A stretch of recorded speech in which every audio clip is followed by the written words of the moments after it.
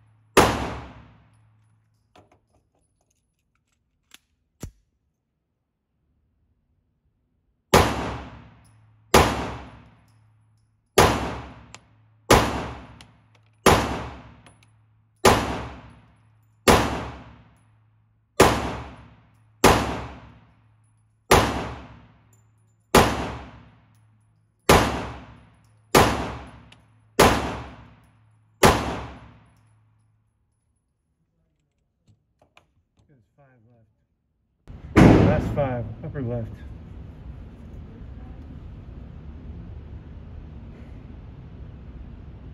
Damn.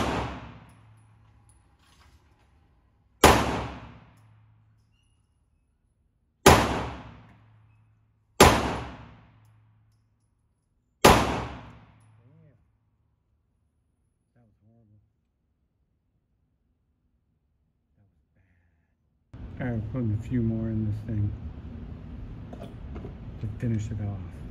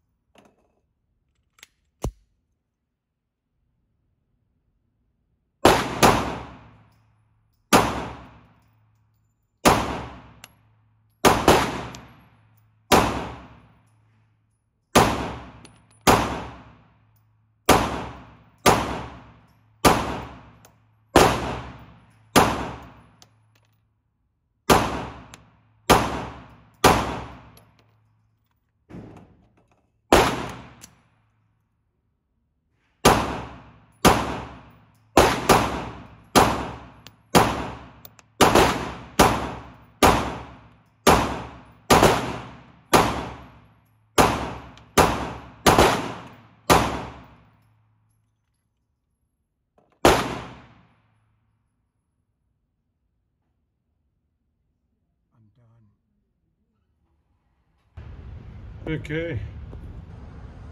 It's our last 50. Not too bad. Bottom right, I put uh, three 15 round mags in there. That's uh, pretty decent. Anyway, uh, the uh, oak here, it stayed on target. Uh, did fantastic. Keeping it down range. You can see, man, I shake. So I think as much as I shake, those shots will, will do what I need to do. Anyway, uh, the oak and the otter both did excellent today. Uh, my shooting was definitely not on par, but uh, that's the way it goes. Anyway, if you're looking to get this uh, otter, I'm definitely keeping mine. In fact, I'm just gonna leave it on the gun. I was gonna put a Holosun uh, 407K, um, you know, or 507K or something like that on there. Uh, but maybe I'll just leave this. Works great. All right, uh, we're back from the range and um, I think I fired 260 rounds, not quite 300, but 260 is enough, I think. Um, anyhow, the otter worked uh, great. Um, I'll show you some footage of me shooting with it, at least like the last 50 or 60 rounds or whatever I fired. Um, but there's a dot. Uh, the shake awake works great. It is dead on, dead on. Uh, you can see up here in the front, I want to show you. So you know how with the uh, the tattoo sight, there was like a little bit of um, carbon buildup here on the glass. So there's a little bit there. I don't know if you can see that. You can see it there in the in the distance. There is some buildup, but uh, not like the Vitato had. There also, I was worried about rounds, you know, hitting up here and and popping back in and causing failure to feed, or uh, you know, a stovepipe type uh, operation. It's empty, as you can see, and that never happened. Um, this thing, it is awesome. Uh, for the price I paid, I think it's like 139 or maybe 169 or 159, something like that, 160 on Amazon. Uh, so far, man, uh, side door open just like a uh, Holosun. The clicks are uh, not so, not uh, audible, uh, you know, right away, but you when you get your ear close, you can hear the clicks. Couldn't necessarily feel them. I, I did make some changes in the, I think all I had to change was, uh, I think I just had to change it a little bit to the left and uh, up on the target and that's it. And it's just, man, uh, I was, for the most part, besides I was shaky, I was putting the rounds uh, exactly where I wanted them. Uh, so, yeah. I may still consider putting the Holosun 407 K on here and switching it with the uh, subcompact I have. Um, just because, I don't know. I don't know. Um, anyhow, uh, excellent. That's all I can say. So if you're looking to go 9 mil, this is 9 mil. I shot it with, a, you know, my, just a bunch of various ammo, and then the majority of the rounds were fired with American Eagle, uh, 115 grain. Uh, I wasn't going all crazy with it, no plus P's or anything like that. Uh, there were some 40, 147 grains in there. It kind of, and their steel case, aluminum case, brass case, you know, you name it. I, I ran every kind of round uh, in that 250, 260 round test that uh, I could find. So you can see I still can't get all the carbon out of my fingers from loading mags because I ran this one in the 10 mil. So this is C9. This is my uh, everyday carry, my go-to, and uh, you'll see in the footage. Anyhow, um, all I can say is, yeah, the Otter, uh, definitely I'm keeping it. It's, it's uh, Shake Awake works. Um, although I wish it would make it a green dot, unfortunately, or even a multi-reticle. That would be great. So uh, work on that one, Lucy and uh, give us a multi-reticle. That would be fantastic. Anyway, uh, if you want, comment on the bottom, ask me questions. Uh, if you subscribe, it'd be great, you know, all that cool YouTube influencer crap, whatever. Um, yeah, I'm not trying to be an influencer. I'm just trying to help you guys out with, um, you know, this is the gear I, I buy myself. And um, I couldn't find videos on stuff like this that I liked. So I'm making the videos that I want to see. And hopefully you guys can take away something for you or whether or not this is something you want to uh, defend your life with or carry. I'm going to, at least this one. And um, yeah, it's your choice. You know, any electronics can go bad. Uh, I work in the field of, of machines. Things fail. Uh, it doesn't matter if Trijicon or what, things fail. And that's just life. Uh, it's how you recover from that failure and situation always dictates.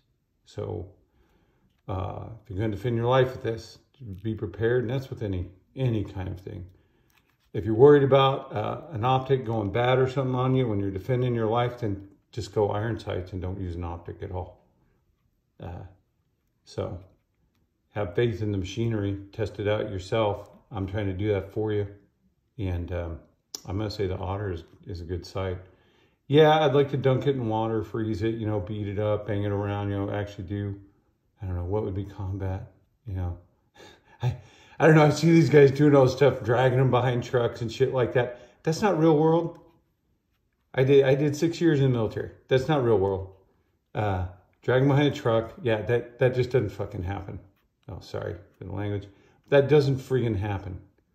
Um, freezing it in water, okay, yeah, if you're in those kind of temperatures where, where your gear's going to be frozen out there and it's going to be in water, yeah, okay. Uh, but that's that's not real. That's not real. Now, I've been in the desert in places where my canteens froze solid. Yeah, if you had a gun on you and it was wet, it, it would freeze too. But you know what? My guns weren't wet then. Um, yeah, maybe up in the mountains where, you know, it gets negative 19, colder than that sometimes. Uh, yeah, you could have snowpack in there or something like that. It would, but in that condition, that environment, I wouldn't probably use an optic like this. I'd just go irons or definitely something more ruggedized. But for everyday carry, that kind of thing, this otter sight, Zulisy sight, to me is uh, it's going to be with me. So have a good one.